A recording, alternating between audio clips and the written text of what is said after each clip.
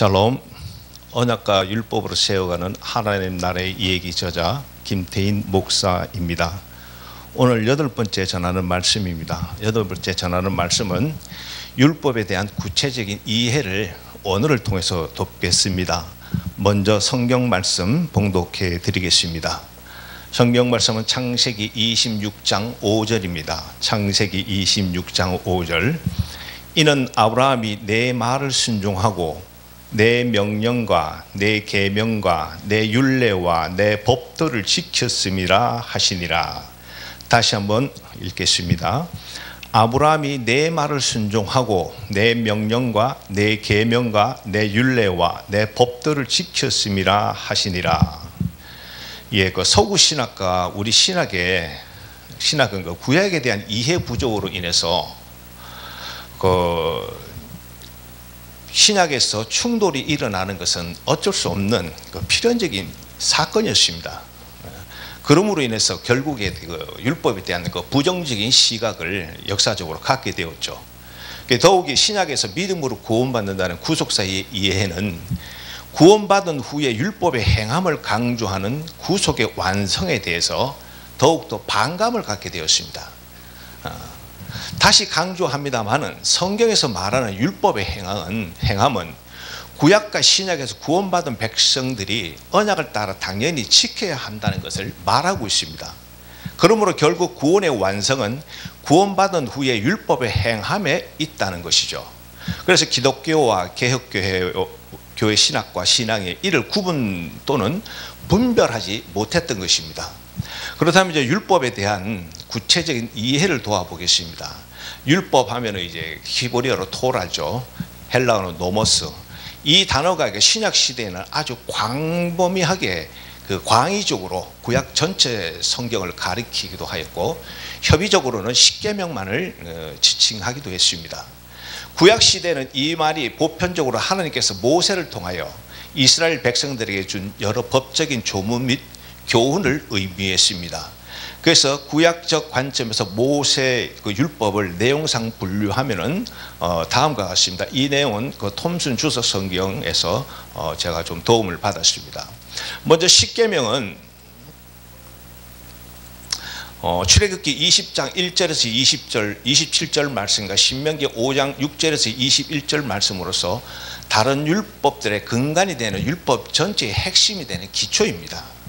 그리고 언약의 율법은 출애굽기 20장 22절에서부터 23장 33절까지 말씀으로서 십계명 바로 뒤에 따라오는 율법으로서 일면 언약사라고 부릅니다. 그 세 번째는 성결의 율법이죠. 레위기 17장 1절에서부터 26장 46절까지 말씀으로서 하나님께 나가는 방법과 하나님의 백성된 자로서 성결을 유지하는 방법을 설명하는 의식법이라 하겠습니다. 네 번째로는 그 제사의 율법이죠. 레위기서 1장 1절에서부터 16장 34절과 또 27장 1절에서부터 34절의 말씀으로서 제사의 종류와 제사장과 레위인들의 임무 및 역할에 대해서 서술된 법이라고 하겠습니다. 여섯 번째는 신명기 율법인데 신명기 12장 1절에서부터 26장 19절 말씀으로서 이스라엘 초기 율법, 특히 언약의 율법이라 하죠. 그래서 이스라엘의 율법과 역사를 개간 요약 또는 재해석하는 부분이라고 하겠습니다. 일곱 번째로 제2적 율법이죠. 출애굽기 34장 10절에서 27절. 제2의 언약사라고 불리면서 주로 가나안 족속의 우상을 파괴하라는 진멸하는 내용입니다. 그리고 또 안식일 및 3대 절기를 준수하라는 내용이 언급하고 있습니다. 그러면 이제 구약에 기록된 율법의 구체적인 이해를 도와보겠습니다. 구약에서는 율법을 토라라고 하죠. 그 율법이라는 의미도 있지만 지시하다, 가르치다, 훈계하다, 또 계명, 법령 이런 뜻이 있습니다. 오늘 우리가 본문 말씀은 본문 말씀 말씀드렸듯이 창세기 26장 5절에서 아브라함이 내 말을 순종하고 내 명령과 내 계명과 내 율례와 내 법도를 지켰습니다. 여기서 이제 명령, 계명, 율례, 법도 이런 말씀들이 다 율법의 그 토라의 의미가 있습니다. 그리고 또 율법의 의미를 갖고 있는 것은 요래, 요래 히브리어로 요래입니다. 이름비를 뜻하죠. 신명기 11장 14절에서 여호와께서 너희의 땅에 이름비 늦은 비를 적당한 때에 내리니 너희가 곡식과 포도주와 기름을 얻을 것이요 실질적으로 이른 비 늦은 비가 이것이 율법의 의미가 있다는 것입니다. 아, 다시 말해서 이른 비 늦은 비를 통해서 하나님의 말씀을 준행하면서 농사를 잘 지었을 때 하나님께서 복을 주신다는 그 의미, 그런 의미가 있겠습니다. 그리고 레위기 5장 24절 말씀에서도 어, 또 너희 마음에 우리에게 이른 비와 늦은 비를 때를 따라 주시며 이른 비 늦은 비 이것은 하나님의 율법의 말씀을 의미합니다.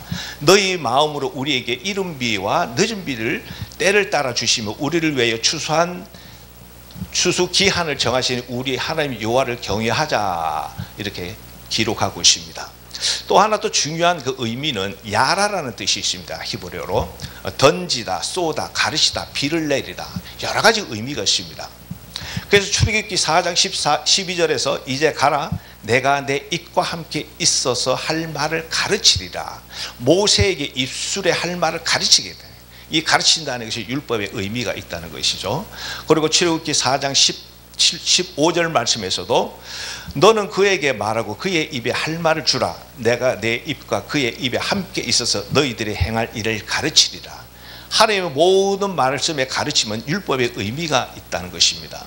그리고 어, 모래 모래 어, 히브리어 모래. 이것은 이름비 또 교사 가르치는 자 스승을 뜻하죠 그래서 어, 이사야서 30장 20절 말씀에서 주께서 너희 환란의 떡과 고생의 물을 주시나 내 스승을 다시 숨기지 아니하시리니 내 눈이 내 스승을 볼 것이요.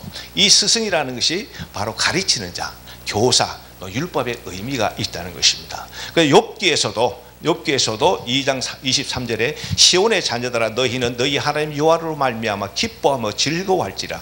그가 너희를 위하여 비를 내리되 비를 내리게 율법의 의미가 있으되 이른 비를 너에게 적당히 주리니 이른 비와 늦은 비가 예전과 같을 것이라.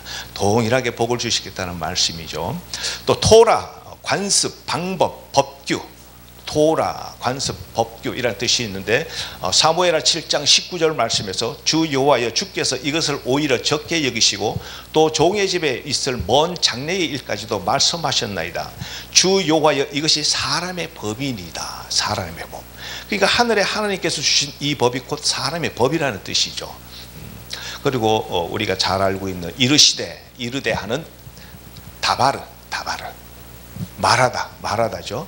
창세기 8장 15절에 하나님이 노아에게 말씀하여 이르시되 이르시되 가라사대. 이런 말씀들이 다 다바른데 이것이 그 율법의 의미가 있다는 것입니다. 그리고 창세기 12장 4절 말씀에서도 이에 아브라함이 여호와의 말씀을 따라갔고 여호와의 말씀을 따라갔다는 것은 율법의 말씀 가르침을 따라갔다는 말입니다. 그런데 우리가 안타깝게도 구약과 신약에서 하나님의 말씀하면은 모든 것이 율법의 의미가 있는데 그냥 획일적으로 그냥 말씀하고서 이렇게 두리뭉실하게 넘어간다는 겁니다. 그러다 보니까 율법의 의미를 다 놓치고 있죠. 어, 그리고 이제 다바르, 다바르는 뜻이 그 두 가지가 있는데 어, 말하다도 있지만은 말, 일, 사건, 계명이라는 뜻도 있습니다. 그래서 창세기 11장 1절 말씀에 온 땅의 언어가 하나요, 말이 하나이더라. 말이 하나이다. 말이 하나라는 것은 하나님이 주신 계명과 율법의 말씀이 하나로 세상을 통치한다는 그런 뜻입니다. 그리고 창세기 15장 1절 말씀에서도 이후에 여호와의 말씀이 환상 중에 아브라함에게 임하여 여호와의 말씀이 있다는 임했다는 것은 여호와의 규, 계명 율법이 임했다는 겁니다. 그래서 성경 어, 구약에서 말하는 말씀이라는 이 분명한 의미는 바로 율법을 계명을 말하고 있다는 것이죠. 그리고 우리가 또 잘 알고 있듯이 데비르, 신탁, 장소, 내성소, 지성소, 지성소를 말하죠.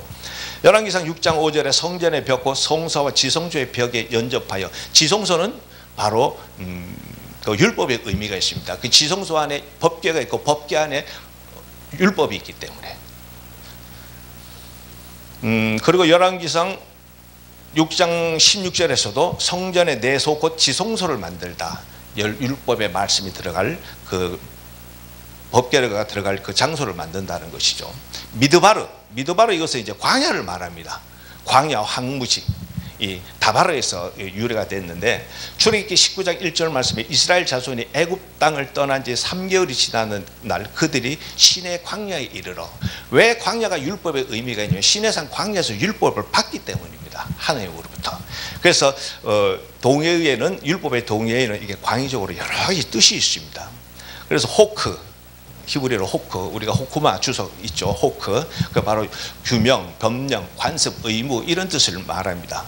출애기 18장 16절에 그들이 일이 있으면 내게로 오나니 내가 그 양쪽을 재판하는 하나님의 율례와 법도를 알게 하리라. 바로 율례와 법도를 호크 어, 율법의 의미가 있죠. 음. 그리고 이제 미치와 미추와 계명 명령이죠. 출애기 20장 6절 말씀에 나를 사랑하고 내 계명을 지키는 자에게는 천대까지 복을 주니라. 아, 이런 말씀은 구약에서 너무 분명하게 기록이 되어 있는데 신약에 와서는 이 말씀들이 그냥 흐지부지 되는 거예요. 그래서 미추와 계명 율법을 그래서 이 예수님도 이 계명 율법을 그렇게 강조를 했습니다. 어, 그리고 이제 그 에듀트 증거 증거라는 말씀이 많이 나오죠. 출애굽기 25장 21절에 속죄소를 교회 위에 얹고 내가 그 위에 증거판 언약계 위에 증거판이죠. 그것은 이제 율법의 의미가 있다는 것입니다. 에, 그래서 이제 그 미치와 아까도 말씀드린 명령 이 명령이 예수님께서 내가 하는 말은 내 말이 아니고 하나님의 명령을 따라 하는 말이에요. 바로 하나님의 율법과 계명의 말씀을 전한다는 그런 의미가 뜻이 있습니다. 근데 이제 우리가 이제 문제가 생기는 것이 구약을 이해하는 데 있어서 신약을 통해서 구약을 이해를 하다 보니까 문제가 생기는 것이죠. 구약을 이해하고 난 다음에 신약을 이해하게 되면 통일성과 이루, 통일성을 이루게 되는데 구약을 이해하지 못하는 상황에서 신약에서 구약을 이해하려니까 문제가 생기죠. 다시 말해서 내 과거의 역사를 이해하지 못하고 현재의 내 문제를 해결하려고 내 그러니까 현재 나의 문제를 해결하려면 나의 과거의 역사를 봐야 한다는 겁니다. 그래 히브리인들의 사관에서 사관 중에서는 현재에서 미래를 가기 위해서는 꼭 과거를 바라본다는 그런 사관이 있습니다. 그만큼 이제 우리의 역사가 중요하다는 것이죠. 그래서 우리가 구약에서 구약의 역사 또 구약의 율법을 우리가 이해하는데 매우 중요하다 겠습니다. 그럼 신약에 기록된 구체적인 이해는 어, 신약에서는 이제 율법은 νόμος라 그러죠. 어, νόμος, ἄνομος, 불법을 행하는 자들을 ἄνομος라 그러죠. 불법하는 자. 다시 말해서 율법이 없는 자. 이런 자들은 주여 주여 하면서 귀신을 쫓아낸다 하더라도 결코 천국에 들어가지 못하고 내가 너희들을 모른다 할 것이라고 주님께서 말씀하셨죠. 음. 그리고 ἔννομος, 법 아래 합법적인 νομίμως 법에 따라 규칙에 따라 그러니까 율법 교사 어, νομοδιδάσκαλος νομοδιδάσκαλος 헬라어로 율법 교사 몽학 선생 다 여기에 속합니다. 우리가 이제 그 오해하는 것 중에 하나가 아 율법은 몽학 선생이고 그렇기 때문에 배울 필요가 없다. 이렇게 이해를 하는데 그렇지가 않습니다. 몽학 선생 율법을 통해서 예수 그리스도를 알고 하느님을 알게 되어 있습니다. 그래서 몽학 선생한테 철저히 배워야죠. 다시 말해서 율법을 철저히 배워야 한다는 이런 말씀입니다. 그래서 어, 음, 또 여러 가지 이제 γραφή, ἐντολή, λαλέω 이렇게 로기스, λογικός, λόγιος 뭐 여러 가지 이렇게 헬라에서 뜻이 있습니다. 음. 그래서 이게 율법의 동의어가 이렇게 많으면 광의적으로 사용되고 있습니다. 그동안 우리는 율법을 단순하게 하나님의 말씀 이렇게 이해했습니다. 잘못된 이해는 아닙니다. 문제는 하나님의 구속사부터 율법을 바르게 이해하지 못함으로 오해가 발생했다는 것이죠. 그 이외에도 하나님의 율법인 그 말씀의 율법은 능력과 치유와 위로와 성령의 아홉 가지 열매로 우리의 삶의 행함으로 나타나고 있습니다. 이제부터라도 우리는 하나님의 모든 말씀에는 율법의 의미가 있다는 것을 알아야 합니다. 그러므로 믿음으로 칭의의 구원을 받은 후 율법의 행함으로 성화와 영화의 구원을 완성해야 되겠습니다. 그래서 신명기 10장 13절에 내가 오늘 내 행복을 위하여 내게 명하는 여호와의 명령과 규례를 지킬 것이 아니냐. 우리의 행복을 위해서 하나님께서 우리에게 언약을 세우시고 이 율법을 주셨다는 말씀입니다. 오늘 말씀은 여기까지 마치겠습니다. 감사합니다.